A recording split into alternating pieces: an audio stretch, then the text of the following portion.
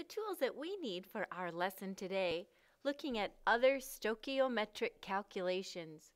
Please make sure that you have not only your note pack open to page 5, but you'll need your periodic table, polyatomic chart. We will be writing formulas, of course. I have my stoichiometry roadmap as a great visual of trying to figure out how many steps, where am I starting, where am I going. So please make sure that's out as well. And of course, my calculator. So as we begin today, looking at what we call other stoichiometric calculations, it really is nothing more than conversion factors using our problem-solving diagram. We can solve any category of stoichiometric problems using our stoichiometry roadmap. Remember in chemistry, when we measure matter, we can count, we can weigh, or we can take a volume. If we're given the number of particles, we see Avogadro's number as the unit of exchange into the mole. Of course, given a gram, it's formula weight. The word is molar mass that leads us into the mole. If it's a volume of a gas, and it must be a gas to do volumes, we use the molar volume value of 22.4.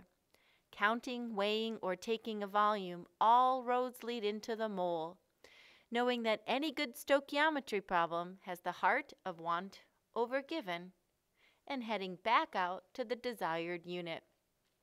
The three steps of stoichiometry divide, ratio, multiply.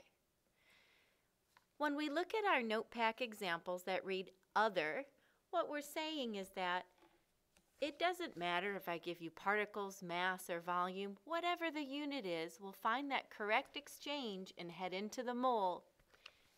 Let's take a look at our first example. Reading it with me, it says, how many molecules of oxygen are produced when a sample of 29.2 grams of water is decomposed by electrolysis. Remember, our stoichiometry is only as good as our equation writing skills. I'm noticing the pattern of chemical change is given to me by the word decomposed. The pattern of decomposition suggests one reactant breaking down into simpler products.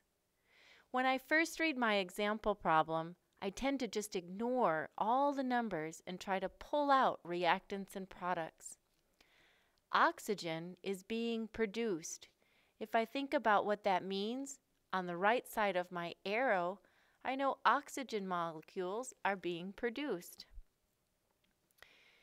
They're being produced from the decomposition of water. Water is our reactant.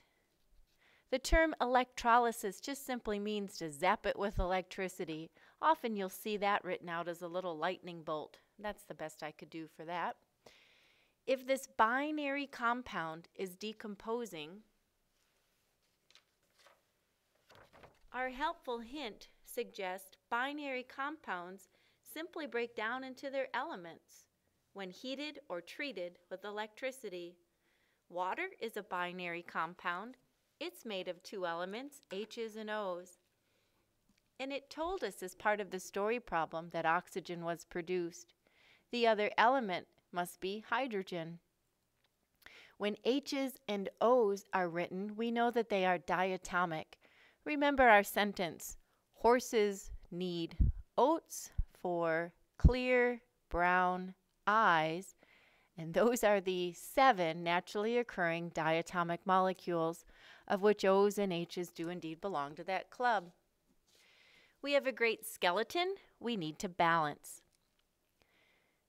When water decomposes into its elements, the H's come out fine, but the O's aren't balanced. So I back up and correct that by doubling the water and come back to repair the H's. A 2 to 1 to 2 stoichiometric ratio balances my equation. Once I get my, my uh, equation written, I consider that a recipe. Then I go back and I reread the problem for the numbers.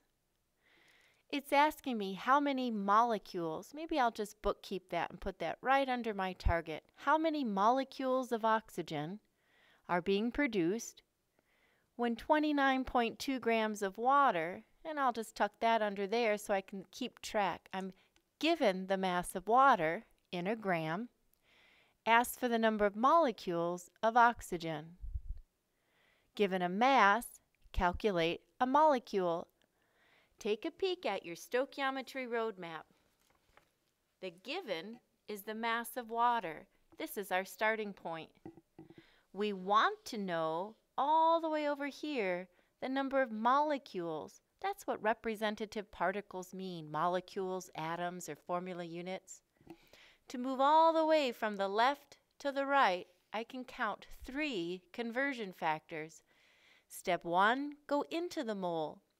Step two, mole-mole ratio. Step three, we're going to use Avogadro to head out to the world of particles. Let's begin by writing what we know. 29.2 grams of water is our given.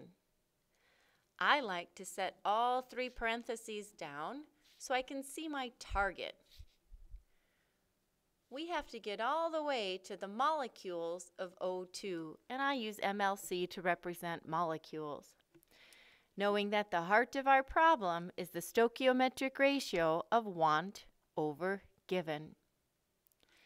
In our first step, to move from mass of given, which is mass of water, into moles of water, we've got to use the molar mass as our conversion.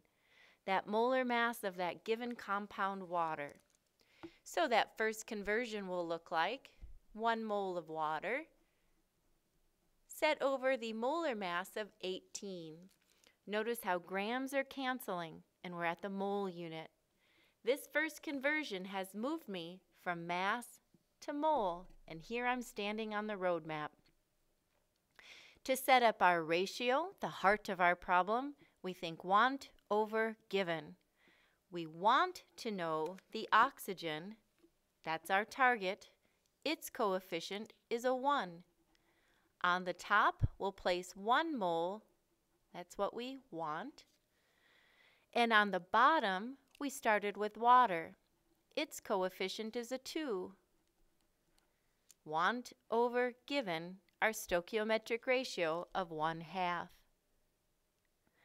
The last thing we need to do is head north in our stoichiometry roadmap. We want to count. We want to count the individual particles.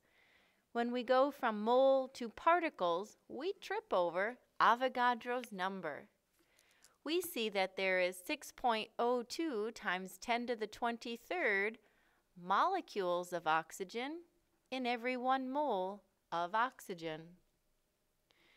Every number has a label and a unit every step, every time to ensure full credit. Please grab your calculator and follow the key sequence with me. Hit 29.2, our given mass. In the first conversion parenthesis, it's showing us divide by 18. 18 is on the bottom, so we divide.